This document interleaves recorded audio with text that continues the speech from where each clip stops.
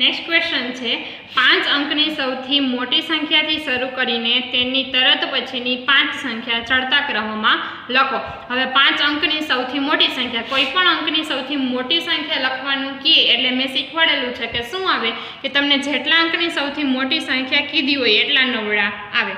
અહીંયા પાંચ અંકની તમને સૌથી મોટી સંખ્યા કીધી છે એટલે નવડા કેટલી વખત આવશે? પાંચ વખત. તો આપણે લખી નાખીએ પહેલાં સૌથી મોટી સંખ્યા પાંચ અંકની.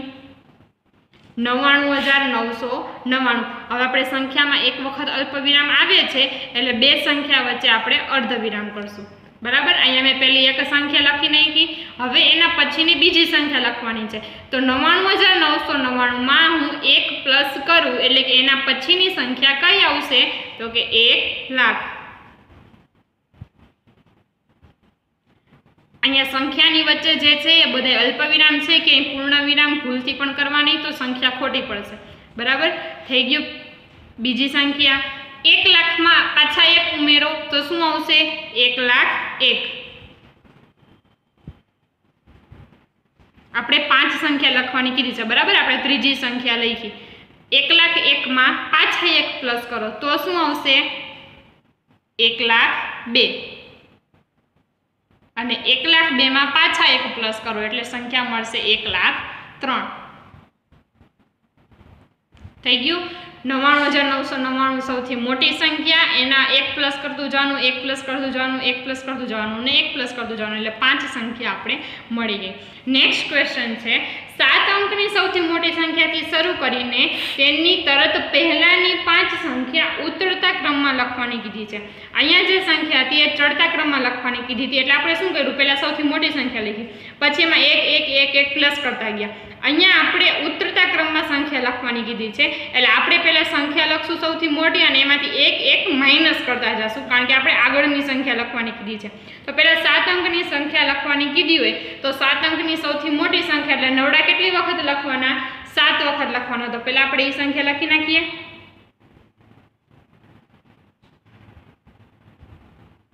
વચાશે શું? નવ્વાણું લાખ, નવ્વાણું હજાર, નવસો નવ્વાણું. એમાંથી હું એક બાદ કરી નાખું. જો તમારે એક બાદ કરવાનું હોય, એક પ્લસ કરવાનું હોય, ત્યારે આગળની આખી સંખ્યા ન જોવાની ખાલી છેલ્લેના અંક જોવાના હોય. જો અહીંયા આપણે નવ્વાણું હજાર નવસો નવ્વાણુંમાં એક પ્લસ કરીએ એટલે એક લાખ આવ્યા. પછી એમાં એક પ્લસ કર્યું એટલે આગળના એક લાખ તો એમને જ રહે. ખાલી જીરોમાં એક પ્લસ થઈ જાય એટલે શું આવી જાય? એક. પાછા એકમાં એક પ્લસ થઈ જાય એટલે શું આવી જાય? બે. બેમાં એક પ્લસ થઈ જાય એટલે શું આવી જાય? ત્રણ. આગળનું કાંઈ ચેન્જ આવતો નથી. તો જ્યારે આપણે માઇનસ કરીએ છીએ ત્યારે પણ એવું જ થશે. પહેલી સંખ્યા તો એમને એમ જ રહેશે. આપણે એક એક બાદ કરતા જશું ને એટલે ખાલી ને ખાલી છેલ્લી સંખ્યામાં જ ચેન્જ આવશે. અહીંયા નવ્વાણું લાખ, નવ્વાણું હજાર, નવસો નવ્વાણું છે. એમાં હું છેલ્લા નવમાંથી એક બાદ કરી નાખું તો નવમાંથી એક બાદ કરું તો શું આવી જાય? આઠ. એટલે ખાલી છેલ્લે જ્યાં નવ છે, એની જગ્યાએ આપણે શું લખવાના થશે? આઠ. તો જ્યાં નવ્વાણું લાખ, નવ્વાણું હજાર, નવસો નવ્વાણું હતા, એની જગ્યાએ શું થઈ ગયા? નવસો અઠ્ઠાણું થઈ ગયા. હવે નવસો અઠ્ઠાણું છે પાછા એમાંથી એક બાદ કરો. તો આઠમાંથી એક ખાલી બાદ કરી નાખો, એટલે શું આવી જાય? સાત. એટલે છેલ્લે જ્યાં નવસો અઠ્ઠાણું હતા, એની જગ્યાએ આવી ગયા નવસો સત્તાણું. પાછા નવસો સત્તાણું છે, છેલ્લે એમાંથી પાછા એક બાદ કરી નાખો, એટલે શું આવી જાય? નવસો છન્નું. અને નવસો છન્નુંમાંથી પાછા એક બાદ કરી નાખો, એટલે નવસો પંચાણું. સમજાઈ ગયું બધાને નેક્સ્ટ ક્વેશ્ચન એક લાખની પુરોગામી સંખ્યા. પુરોગામી એટલે પહેલાંની થશે કે પછીની થશે? જ્યાં મેં થિયરી સમજાવી, ત્યાં બે શબ્દ મેં તમને લાસ્ટમાં કીધેલા હતા કે આ બે શબ્દ તમારે આવશે. એક તો પુરોગામી અને બીજો અનુગામી. તો પુરોગામી એટલે શું થાય? પહેલાંનું. બરોબર. પુરોગામી એટલે આપણે પહેલાંની સંખ્યા લખવાની છે. તો એક લાખની પુરોગામી સંખ્યા લખવાની કીધી છે. એક લાખમાં કેટલા જીરો આવશે? હા, પાંચ જીરો આવશે. એટલે કે એની આગળની સંખ્યા હશે, એમાં કેટલા નવડા હશે? પાંચ. તો આપણે નવડા ગણવાના થશે. સૌથી પહેલાં અહીંયા તો જીરોવાળી સંખ્યા છે એટલે આ નહીં આવે. અહીંયા જીરોવાળી સંખ્યા છે એટલે એ પણ આવશે નહીં. આ જે બે ઓપ્શન છે બે ઓપ્શનમાં જ આપણે નવડા ગણવાના છે. પહેલાં અહીંયા ગણો. એક, બે, ત્રણ, ચાર, પાંચ. અહીંયા જ પાંચ નવડા આવી ગયા એટલે આપણે આગળ ગણવાનું જ થતું નથી. શું આવી ગયું? ડાયરેક્ટ જવાબ ઓપ્શન બી થઈ ગયું? પિસ્તાલીસમાં નંબરનો ક્વેશ્ચન ત્રણ અંકોની સૌથી નાની સંખ્યા. એ ત્રણ અંકની સૌથી મોટી સંખ્યાની પૂર્વગામી સંખ્યા છે. તો પહેલાં આપણે ખબર હોવી જોઈએ કે ત્રણ અંકની સૌથી નાની સંખ્યા કઈ છે અને ત્રણ અંકની સૌથી મોટી સંખ્યા કઈ છે. તો ત્રણ અંકની સૌથી નાની સંખ્યા કઈ થાય? હા, સો છે એ ત્રણ અંકની કેવી સંખ્યા છે? સૌથી નાની સંખ્યા. અને સૌથી મોટી સંખ્યા? મોટી સંખ્યામાં તો આપણે કંઈ યાદ જ નથી લખવાનું મોટી સંખ્યા એટલે નવ. ત્રણ અંકની કીધી એટલે કેટલી વખત નવ આવે? ત્રણ વખત નવ આવે. તો સૌથી મોટી સંખ્યા છે નવસો નવ્વાણું. તો અહીંયા તમને એવું કીધું છે કે જે સૌથી નાની સંખ્યા એટલે કે સો છે, એ સો, એ નવસો નવ્વાણુંની આગળની સંખ્યા છે. તો વિધાન સાચું છે કે ખોટું છે? નવસો નવ્વાણુંની આગળ સો આવે? હા, ન આવે. નવસો નવ્વાણુંની આગળ નવસો અઠ્ઠાણું આવે. એટલા માટે આ વિધાન કેવું છે? ખોટું. નેક્સ્ટ ક્વેશ્ચન પાંચ અલગ અલગ શૂન્યેતર અંકોથી બનાવેલી સૌથી મોટી સંખ્યાના અંકોનો ક્રમ ઉલટાવીને લખીએ તો તે જ પાંચ અંકોથી બનેલી સંખ્યા ખાલી જગ્યા થશે. આવું તમને કીધેલું છે. હવે એવું કીધું કે પાંચ અલગ અલગ અંકો લેવાના છે શૂન્યોતર. એટલે કે શૂન્ય સિવાયના. શૂન્યોતરનો મિનિંગ થશે શૂન્ય સિવાયના. શૂન્ય સિવાયના કોઈ પણ તમે અંક લ્યો, એનાથી સૌથી મોટી સંખ્યા બનાવવાની છે. તો હવે પહેલાં આપણે શૂન્ય સિવાયના અંક લખીએ. તો થશે એક, બે, ત્રણ, ચાર, પાંચ, છ, સાત આઠ અને નવ. બરાબર? શૂન્ય સિવાયના જેટલા અંકો છે, એટલા બધાય અંકો આપણે લખ્યા બરાબર? હવે આગળ તમને એવું કીધું છે, આગળનો શબ્દો, કે શૂન્ય સિવાયના અંકોથી બનાવેલી સંખ્યા, સૌથી મોટી સંખ્યા. બરાબર છે? હવે શૂન્ય સિવાયના અંકો કયા કયા હતા? તો કે એક, બે, ત્રણ, ચાર, પાંચ, છ, સાત, આઠ અને નવ. આટલા અંકો છે, બરાબર? અહીંયા આગળ એવું કીધું છે કે આ અંકોથી બનાવેલી સૌથી મોટી સંખ્યા, કેટલા અંકની? પાંચ અંકની કીધી છે, બરાબર? હવે સૌથી આટલા અંકોનો ઉપયોગ કરીને આપણે સૌથી મોટી સંખ્યા બનાવવાની છે. એટલે આપણે સૌથી મોટા ક્રમથી ચાલુ કરશું. કેટલા અંક લેવાના છે? પાંચ અંક લેવાના છે. નવ, આઠ, સાત, છ, પાંચ. આવી ગયા પાંચ અંક.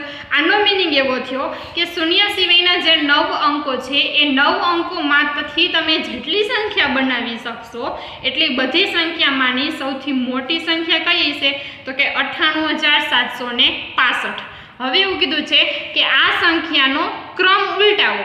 ઉલટાવો એટલે શું? અહીંયા મારે નવ પહેલાં હતા, તો અહીંયા નવ પાછળ વહ્યા જશે. એના પછી આઠ છે, તો એ આઠ પાછળથી આગળ આવી જશે. એટલે કે જે છેલ્લે છે એ પહેલાં આવી જશે, પહેલે છે એ છેલ્લા આવી જશે. તો એ તમે ક્રમ ઉલટાવો અને ઉલટાવીને લખો, તો તમને કઈ સંખ્યા મળે છે એ સંખ્યા તમારે લખવાની છે. તો ચાલો આપણી પાસે આ સંખ્યા છે એ સંખ્યાનો ક્રમ આપણે ઉલટાવી દઈએ. સૌથી પહેલ છેલ્લે કયું છે? પાંચ, એટલે પાંચ આગળ આવી જશે. એના પછી છ છે, તો છ, પછી સાત, પછી આઠ અને પછી નવ. તો આપણો જવાબ શું આવી ગયો? છપ્પન હજાર સાતસો નેવ્યાસી. ફરીથી સમજાવી દઉં. પહેલાં શબ્દ જોતા જવાના કે પાંચ અલગ અલગ અંકો લેવાના છે. એટલે એક અંક રિપીટ ન થવો જોઈએ. શૂન્યોત્તર એટલે કે શૂન્ય સિવાયની સંખ્યા લેવાની છે. અંકોથી બનાવેલી સૌથી મોટી સંખ્યા. એટલે કે શૂન્ય સિવાયના અંકો હતા નવ. એમાંથી આપણે સૌથી મોટી સંખ્યા બનાવી. બની અઠ્ઠાણું હજાર સાતસો ને પાસઠ. એના અંકો જે છે, એટલે કે આમાં જે અંકો છે, એ અંકોનો ક્રમ, એટલે કે સ્થાન ઉલટાવી નાખવાનું છે. એટલે આગળ પાછળ કરી નાખવાનું છે. પાછળ હોય આગળ આગળ હોય પાછળ. અને પછી આપણે લખીએ. અને જે સંખ્યા મળે લખવાની છે. તો આપણો જવાબ છે છપ્પન હજાર સાતસો ને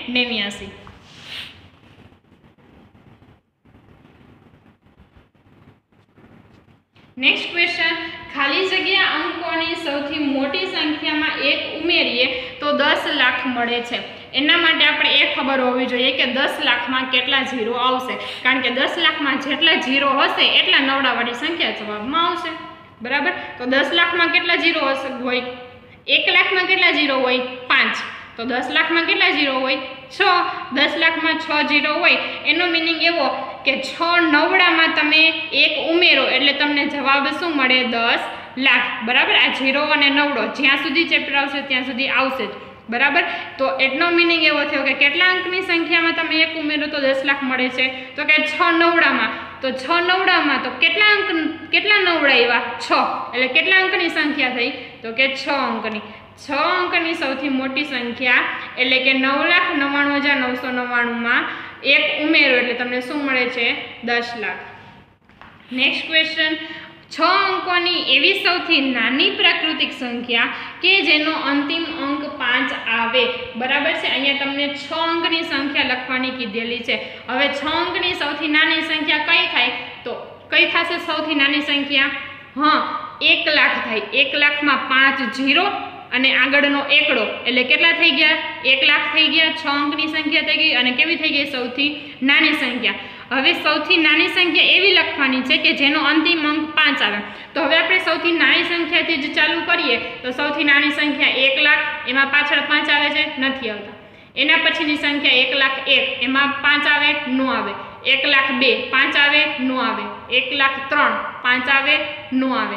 એક લાખ ચાર આવે? નો આવે. એક લાખ પાંચ. એમાં સૌથી છેલ્લો અંક પાંચ આવે છે. હં આવે છે. તો સૌથી નાની પ્રાકૃતિક સંખ્યા છ અંકની કઈ થઈ ગઈ? એક લાખ પાંચ. થઈ ગયું? હવે એના પછીનો ક્વેશ્ચન નંબર ફોર્ટી નાઇન કંઈક એવું કહે છે કે નીચેની સંખ્યામાં આવતા અંકોને તેના સ્થાને લખી તે સંખ્યાનું નામ અને વિસ્તરણ લખો. બરાબર છે? પહેલાં સંખ્યા લખવાની છે અને પછી સંખ્યાનું સ્થાન લખવાનું છે. સંખ્યા લખવા માટે આપણે સૌથી છેલ્લેથી ચાલુ કરશું. આવું એકમ દશક સો, આવું મેં ચેપ્ટરની શરૂઆતમાં સમજાવેલું હતું. બરાબર? જો યાદ ન હોય તો વીડિયો ફરીથી રિપીટ કરી લેવાનો. સૌથી છેલ્લેથી લખવાનું ચાલુ કરશું. સૌથી છેલ્લો અંક છે એને એકમ કહેવાશે એની આગળનો અંક છે એને દશક કહેવાશે એની આગળ સો, એની આગળ હજાર, એની આગળ દસ હજાર અને એની આગળ લાખ. એટલે કે આ થઈ ગઈ સંખ્યા. હવે સંખ્યાને આપણે લખવાની છે. તો સંખ્યાને લખવા માટે સૌથી પહેલાં ચાર શું છે? લાખ. એટલે ચાર લાખ. હવે કંઈ અહીંયા ત્રીસ હજાર, પાંચ હજાર એવું તો આવે નહીં. એટલે આપણે શું કરીએ? બે સંખ્યાને ભેગી લખીએ ને બરાબર? એટલે શું થઈ જશે? આ ત્રીસ પ્લસ પાંચ, એટલે શું થઈ ગયા? પાંત્રીસ. અને એની પાછળ શું લખી નાખવાનું? હજાર. એટલે કે પાંત્રીસ હજાર.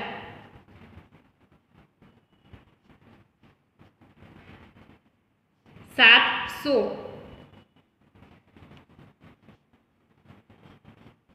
અને બે એટલે કે દસ એટલે કે શું થઈ ગયા? વીસ. વીસમાં છેલ્લા ઉમેરવાના નવ એટલે શું થઈ ગયા? ઓગણત્રીસ. એટલે છેલ્લી સંખ્યા આવશે ઓગણત્રીસ.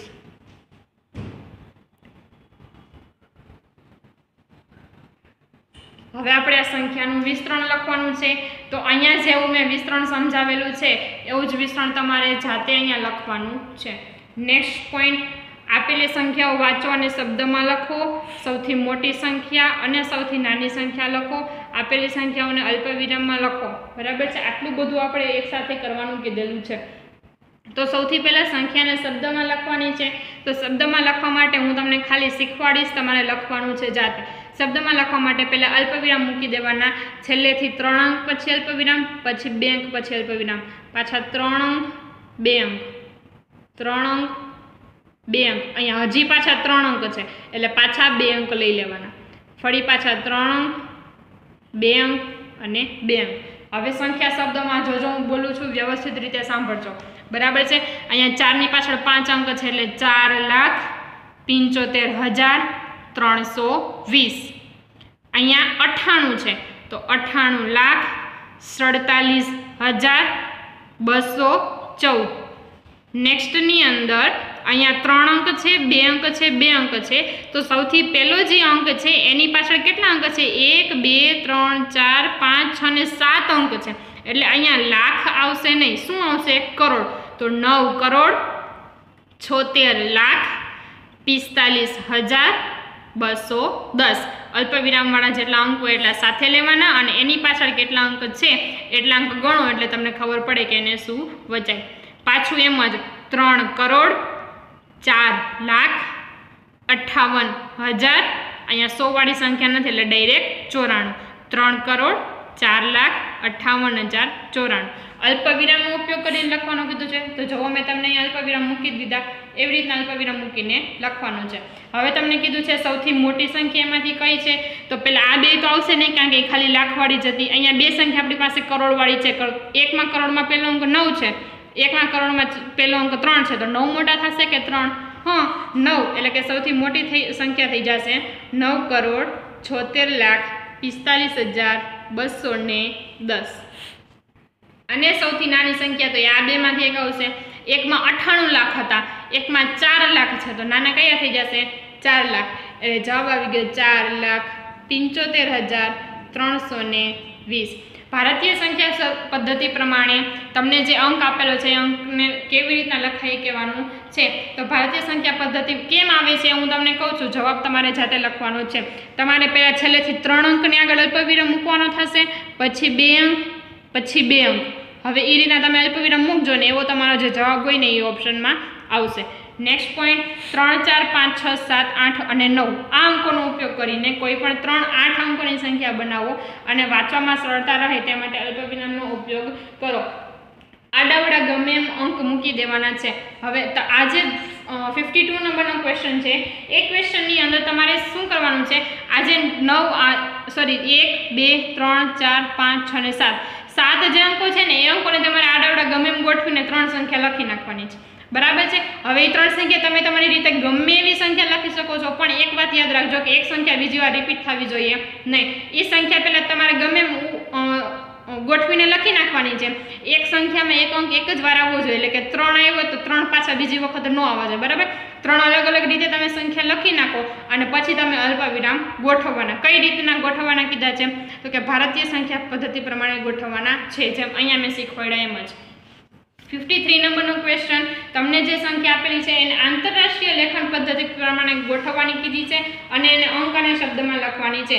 તો આંતરરાષ્ટ્રીય લેખન પદ્ધતિમાં છેલ્લે ત્રણ અંક, પછી ત્રણ અંક, ત્રણ ત્રણ અંક જ લેવાના થશે. તો પહેલાં આપણે સંખ્યાને અંકોમાં લખી નાખીએ.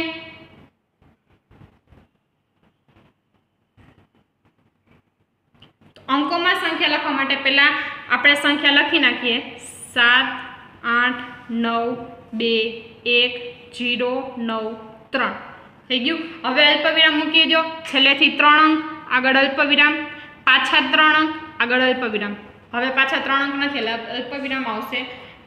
હવે સંખ્યાને આપણે શબ્દોમાં લખવાની છે.